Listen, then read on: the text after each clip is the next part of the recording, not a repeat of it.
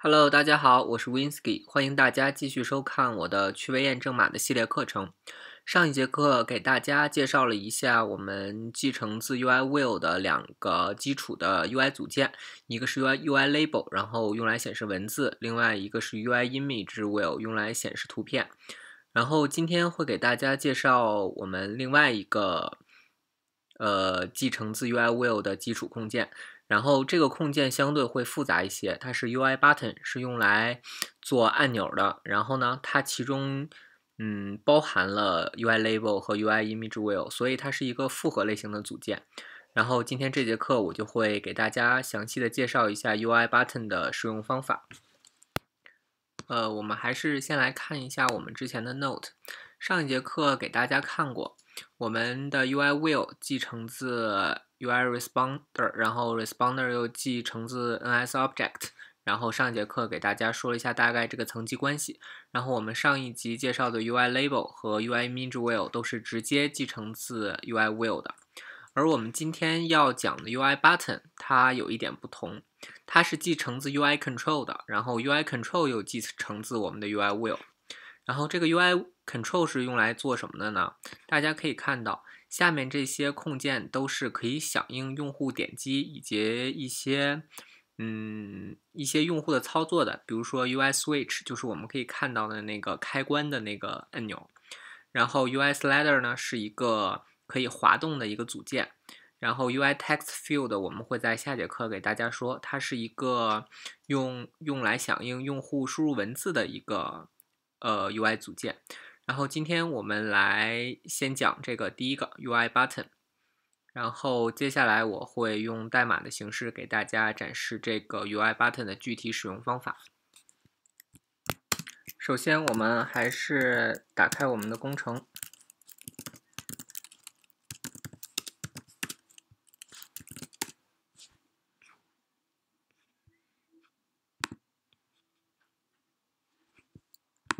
呃，大家看到了，我已经拖拽了从我们的 Interface Builder 里面建立了一个 button，然后我们可以先删掉，给大家看一下过程。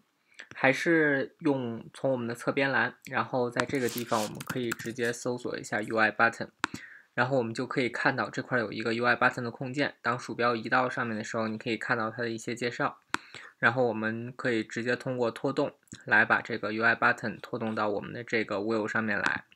然后大家可以看到，这个 UI button 上面是有文字的，呃，而且事实上呢，它不光有文字，它里面还有一个 image wheel，可以用来，嗯，放置一些背景图片。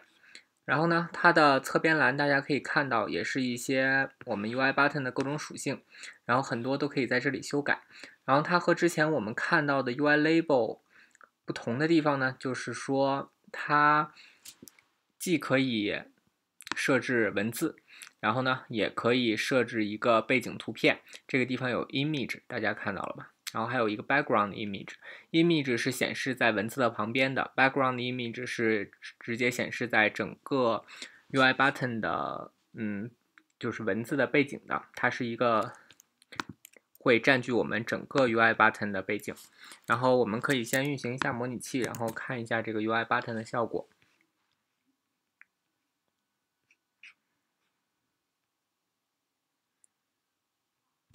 嗯，等着模拟器起来。然后我们上一节课给大家讲的时候，我们是使用了一部分用代码的方式来。哦，这是上一节课那个，我们再去把那个部分删掉。我们还是先把字体修改一下，然后方便大家观看。然后上一节课我们用代码在我们的 UI Wheel 上加了一个 UI Image。然后我们先把这部分的代码删掉，然后我们再运行模拟器，这样就可以看到我们刚才拖拽过来的这个 UI button 了。大家可以看到这个地方有个 UI button，然后当我们点击下去的时候呢，它是有一个点击效果的，这些都是系统自带的。而且，嗯，UI button 也提供了方法让我们去自定义这些点击以后的效果，比如说点击以后文字的，嗯，颜色啊，或者。文字也是可以改变的，比如说我们在没点击之前，它显示的是 button，然后我们点击之后，它也可以显示一个，比如说 blue button 或者 red button 这样的一个文字的修改。呃，我们再去 Interface Builder 里面看一下。我们来看一下我们这个 UI button 的各种属性。然后，比如说这个地方，我们可以修改它里面的文字。嗯，比如说我们可以修改成，我们可以修改成确定，然后我们就有一个确定按钮，对吧？然后这块还有 text color，这个跟我们 UI label 是一样的，我们可以去修改它文字的颜色。然后我们可以看一下，比如说我们可以把它改成绿色，然后呢，我们这个就变成绿色了。然后下面还有一些，比如说我们可以设置一个背景图片。嗯，我们先设置一个背景图片看一下吧。大家可以看到了吗？我们之前用 U Label UI 用 UI Image View 显示的那个图片，然后就被完全的填充到了我们这个 UI Button 的背景上面。我们如何拖动它，它就会随着适应我们这 Button 的大小。呃，我们把这个去掉。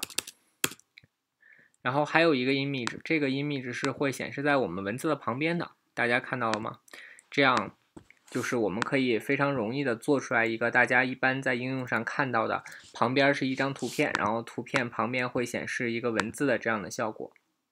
呃，我们还是把这个也去去掉，这一节课我们不会用到这个东西。呃，这就是我们 UI button 的一些常用的一些属性，然后包括嗯其他的一些属性，大家如果感兴趣的话就可以自己看一下，并不是什么重要的属性。呃，一般在我们一般情况下也不会用到，除非我们做一些比较深度的定制的时候才会使用。呃，另外一部分属性呢，比如说我们这个按钮，当我们点击了以后，我们要怎么处理它的点击事件呢？我们有两种方法，一种方法是使用 Interface Builder，就像我们那个用来拖拽控件，然后或者拖拽控件在我们那个 IP Outlet，就是在我们前。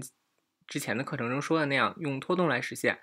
然后另外呢，我们也可以直接用代码的方式，然后在我们的，嗯，在我们的程序里面直接来绑定我们的点击事件。然后接下来呢，我就会教大家如何去给一个 UI button 绑定它的点击事件。呃，我们回到我们的代码中去。首先，为了在我们的代码里面可以使用我们在那个 Interface Builder 里面。来建立的控件，我们还需要像我们上次那节课讲的一样，我们需要给它建立一个属性，一个 outlet 的属性。然后我们这个名字就叫之前那个叫 temp wheel，这个我们叫 temp button。然后呢，它的类型是一个 UI，是一个 UI button 类型的。OK，有了这个属性以后呢？哎，我们看一下是为什么报错。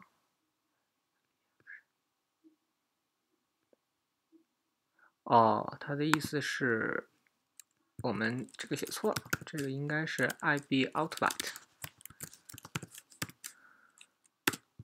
然后那个 IB Action 呢，就是我们刚才说的，我们可以通过这个来给，通过拖拽的方式来给 UI Button 添加一个，嗯，点击事件。然后我们先用代码的方式来给大家展示一下，然后一会儿再用拖拽的方式给大家展示。然后还是这个地方，我们可以看到这个地方已经有我们的这个 time Button 了，大家看到了吧？我们通过拖拽把它拽到这个我们的按钮上来。OK，这样我们就可以在我们的。大家可以看到，在我们这个编码里，在这个侧边栏上已经有一个小圆点了，这就说明我们的这个属性已经被正确的连接到了 Interface building Interface Building 上面的一个对象上面了。呃，接下来我们给我们的 Button 添加一个点击事件。呃，这个使用的是一个我们 UI Button 的方法，然后 UI 方法名字叫 Add Target。大家可以看到，我们有这样一个方法，然后它有一二三，然后一共有三个，呃，三个参数。第一个参数叫做 target，然后是一个 any object 的类型。大家如果对 Swift 有了解的话，any object 类型呢，一般情况下是为了和 OC 来做一个桥接时候来使用的。嗯，这个方法我们一般情况下的赋值就是 self。原因很简单，我们这个和 OC 的一些历史有关系。呃，它就是说在我们当前的这个 self 的这个，也就是我们当前这个 controller 里面来去找相应的方法。呃，这个如果大家需要想深入了解的话，可以去看一下我们这个呃 OC 的 runtime 相关的一些东西，但这个应该是一些比较高级的知识了，大家现在没有太大的了解的必要。然后呢，第二个参数是一个 selector，这个 selector 的就是一个方法，是通过一个字符串，然后来寻找一个在我们这个 self 中的一个方法的。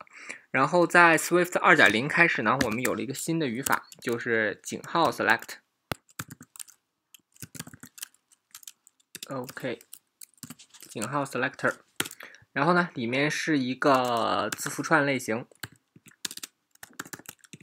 这个我们先不写，因为我们现在还没有定义这个方法。然后呢，下面的这个是我们 button 在会响应什么样的事件？这个 UI control event 代表的就是一个事件。然后呢，我们现在可以直接写 UI control，然后 events。然后呢，名我们要一个方法叫 touch up inside，touch up inside 这个属性。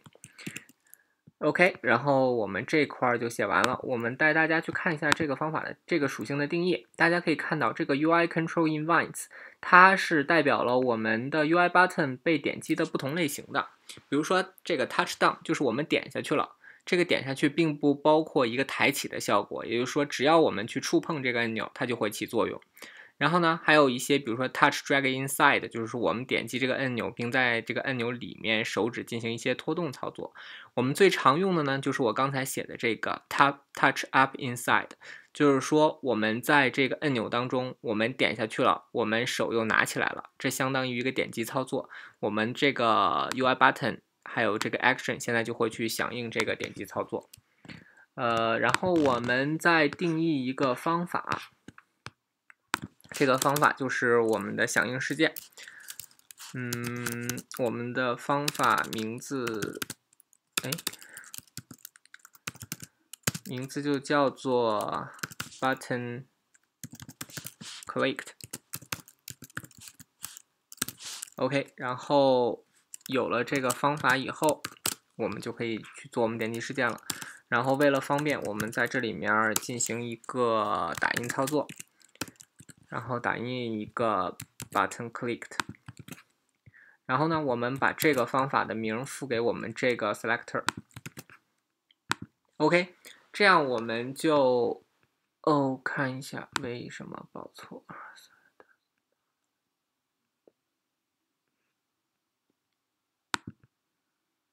哦，这个这个不好意思啊，这个不需要一个字符串，只需要把方法名直接写进去就可以了。呃，然后我们现在运行一下我们的程序，我们来看一下效果。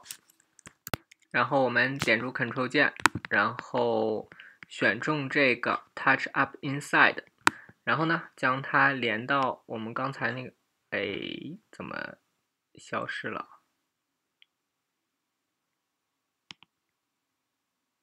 呃，大家稍等一下，我们这样。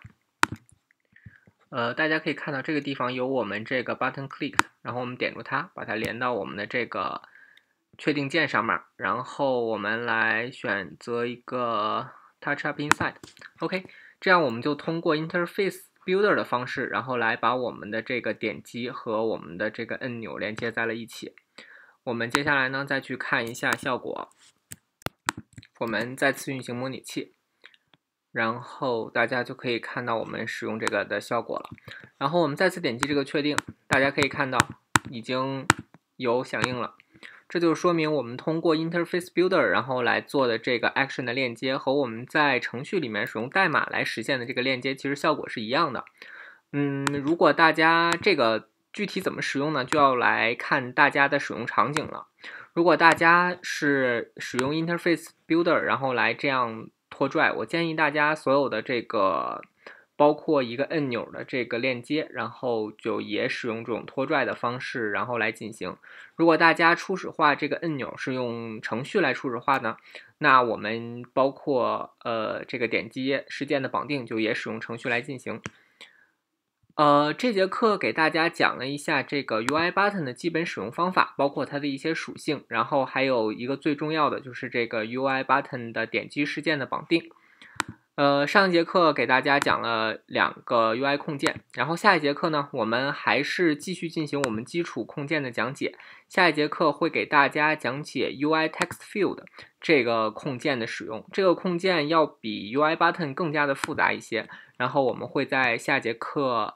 来说，呃，OK，这节课呢，我们的全部内容就到这里了。然后非常感谢大家收看我的课程，然后也希望大家继续关注我的趣味验证码系列课程。我是 Winsky，大家下节课再见，拜拜。